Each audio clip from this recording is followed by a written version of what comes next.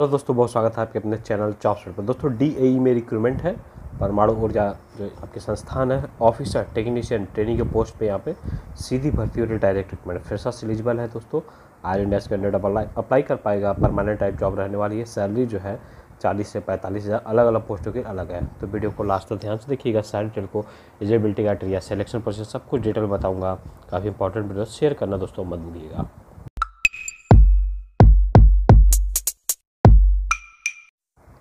दोस्तों, परमाणु ऊर्जा विभाग, जो कि गवर्नमेंट ऑफ़ इंडिया के अंतर्गत आता है, विक्रम साराभाई भवन शक्तिनगर मुंबई, और उसका हेड ऑफ़िस यहाँ पे रिक्रूटमेंट है, देख सकते हैं। तो आइए कौन कौन सी पोस्ट है इंग्लिश वर्जन हम देखते हैं। तो इंग्लिश वर्जन हमने ओपन कर रखा है, यहाँ पे देख सकते हैं टेक्निकल ऑफिसर फिर है सी ग्रुप में group A level ten pay level matrix ten छप्पन हज़ार एक सौ बेसिक पे के साथ आपको काफ़ी अच्छी सैलरी मिलने वाली है। तीन वैकेंसी है एससी में एक है और आपका उनतीस चार तक आप इसको अप्लाई कर पाएँगे। मिनिमम अट्ठारह होना चाहिए, ठीक है? टेक्निकल ऑफिसर सी में देखिए बी बी टेक सिविल में आप अप्लाई कर पाएँगे। मैक्सिमम एज दिया गया है एस सी चालीस एस टी एलिजिबल नहीं है। ओ बी सी अड़तीस और E W S not eligible U R के लिए सीट नहीं है।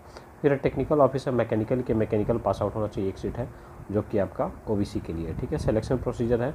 In the case response more D C S M E result to restrict number of candidates call for interview ठीक है? स्क्रीनिंग टेस्ट होगा आपका और basis of personal interview alone ये चीज़ बोला गया है। और साइंटिफिक असिस्टेंट बी में, जो कि डिप्लोमा के लिए है, दो साल का, जो आपके थ्री ईयर या फिर आपने दो साल का कर रखा है।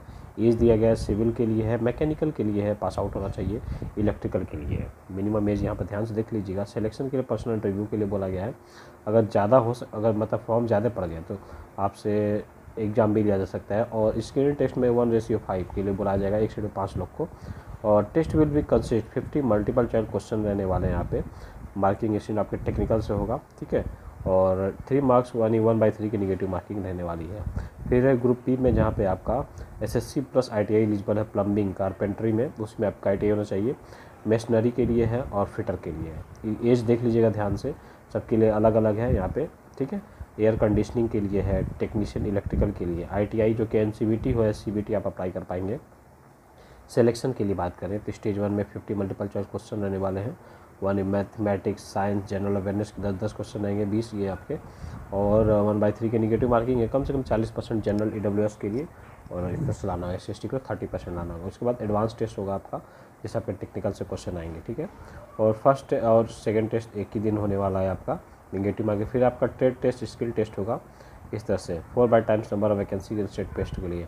फॉर फॉर यहाँ पर बोला गया कि रिक्रूटमेंट फॉर एटॉमिक सिस्टम में ये eligibility condition percentage of marks additional qualification के लिए अलग से नंबर दिए सिक्स ईयर ये सब चीज़ें हैं।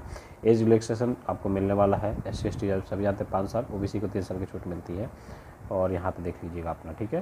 मैक्सिमम एडिशनल बेनिफिट्स जैसे एक्साइटिंग वर्किंग इन्वायरमेंट है प्रमोशन काफ़ी अच्छा होने वाला है। फ़ीस पाँच सौ, तीन सौ, ढाई सौ रुपये है यहाँ पे। एस सी एस टी से कोई फ़ीस नहीं लिया जाएगा। एक फीमेल कैंडिडेट को नहीं देना है पी डब्ल्यू डी कैंडिडेट को भी नहीं देना लिंक मैं आपको दे दूँगा। उसके बाद क्या करना है application should be good quality A four size पे प्लेन पेपर पे शुड भी कन्फर्म विद आपको ऑफलाइन फॉर्म भेजना होगा। ऑनलाइन ही है।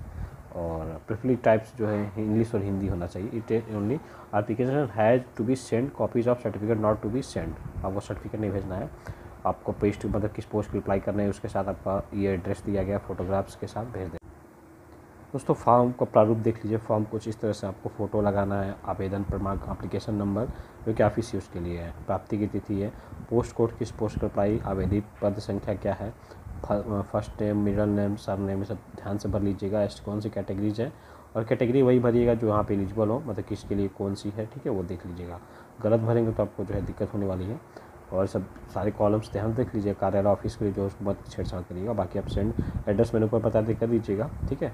तो वीडियो को शेयर करना मत भूलिएगा चैनल को सब्सक्राइब कर लीजिए, कुछ डाउट हो कमेंट बताइए सोशल मीडिया फॉलो कर, मुझे पसंद मैसेज कर सकते हैं। तो वीडियो को समाप्त करते हैं, जय हिंद, जय भारत।